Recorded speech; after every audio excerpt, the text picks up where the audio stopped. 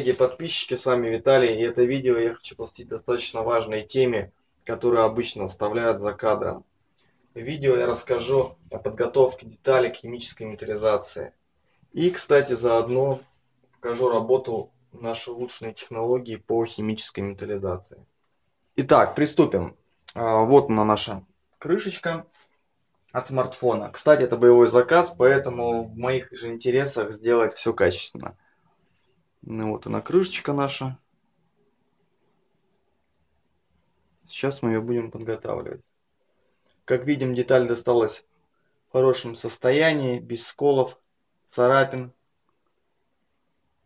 Ну что же, приступим. Итак, начнем подготовку под нанесение грунта. Кстати, грунт можно использовать акриловый, тот, который применяется для кузовного ремонта автомобиля.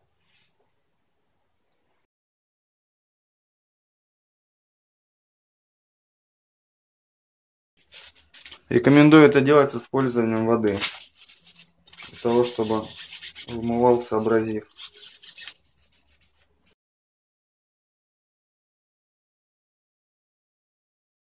Для чего мы это делаем? Наша задача увеличить адгезию грунта к материалу.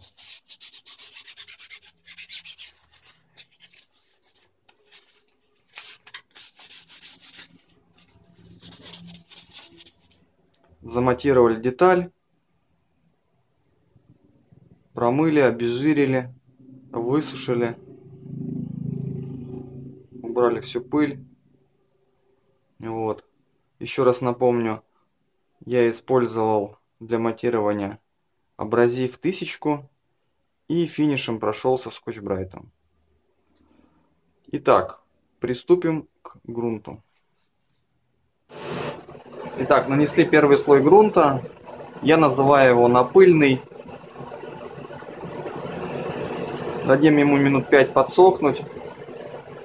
И продолжим наносить уже финальный слой. Итак, наносим второй финальный уже слой.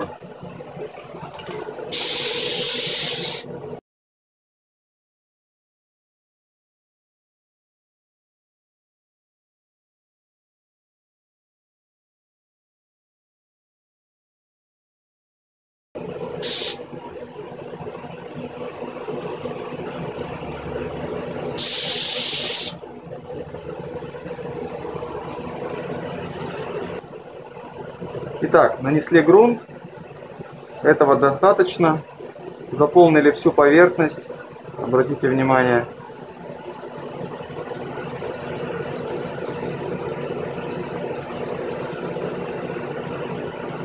Отправим детали сохнуть часа на 3-4 при комнатной температуре.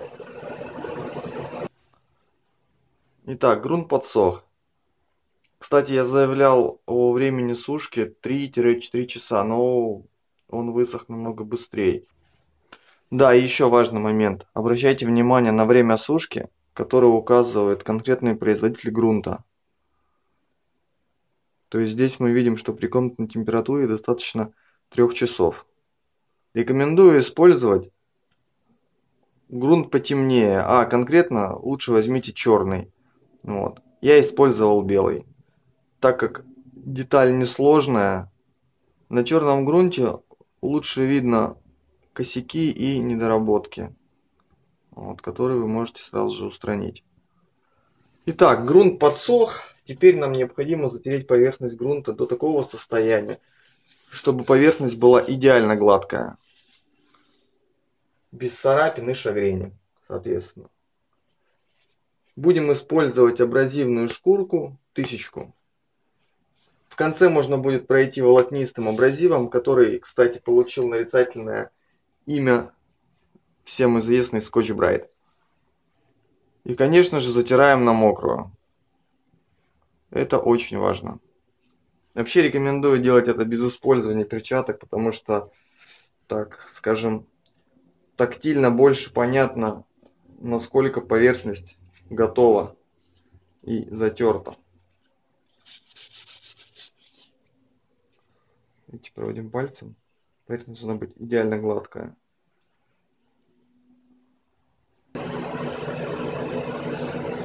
Итак, детали подсушили, обезжирили, обработали салфеткой антисиликоновой,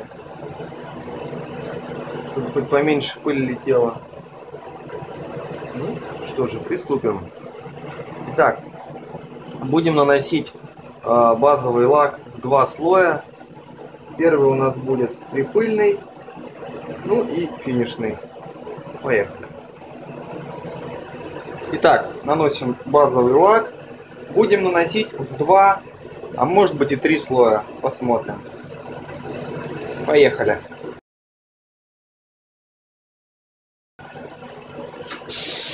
Итак, наносим второй слой.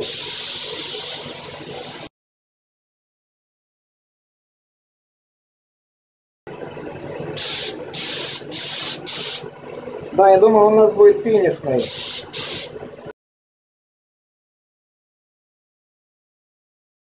Наносим до того момента, пока не появится зеркало.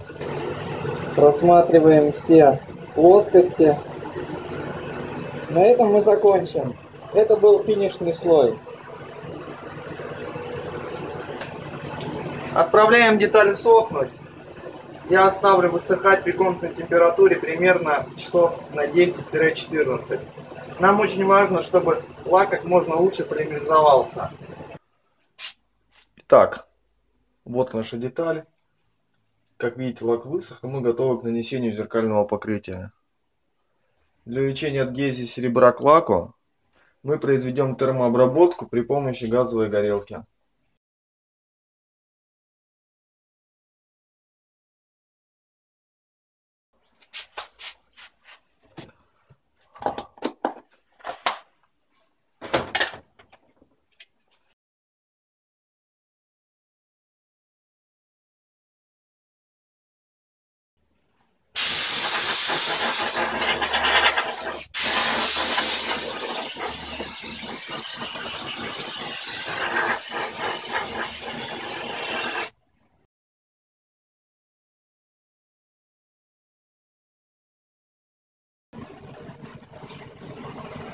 Для улучшения смачиваемости детали рекомендую использовать гидрофильный агент. Он делает нашу жизнь лучше.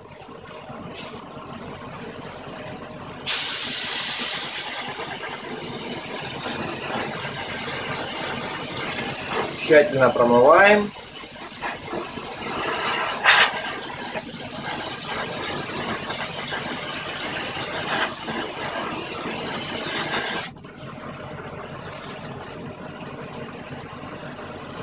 Так, поехали. Наносим раствор сенсибилизации.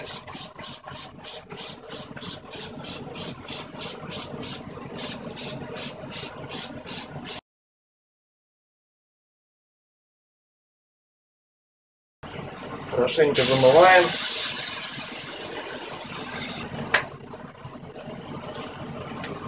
Наносим активатор.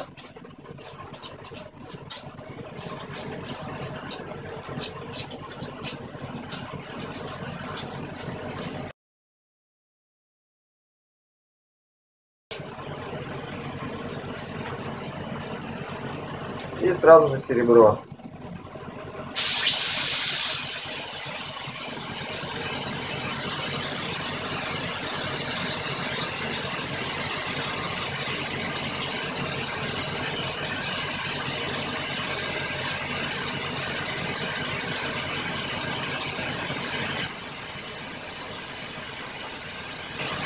Обратите внимание, насколько стабильна реакция.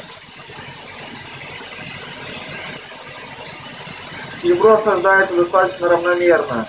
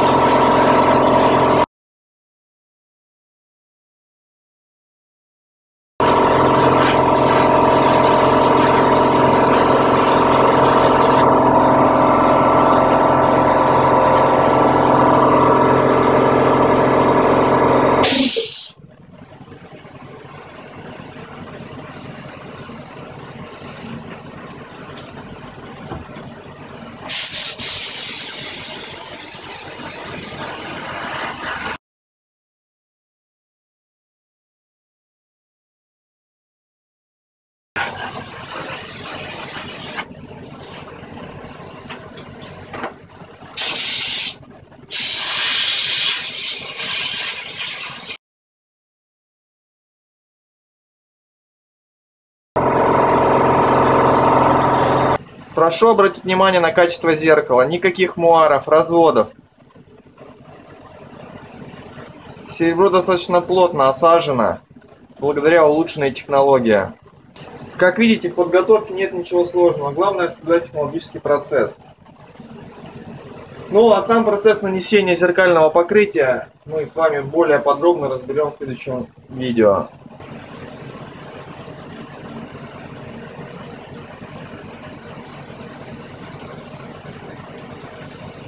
На этом у меня все, друзья. Ставьте лайки, подписывайтесь на наш канал и удачи в металлизации.